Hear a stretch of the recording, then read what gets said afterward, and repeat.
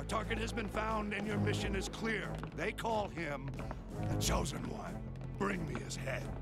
Yes, sir. The Chosen One is born with certain gifts, Somebody's trying to kill us! Enough with this already. superpowers, you might say. Oh, I do have heat vision. Powers that can only grow stronger with training. You have so much more potential.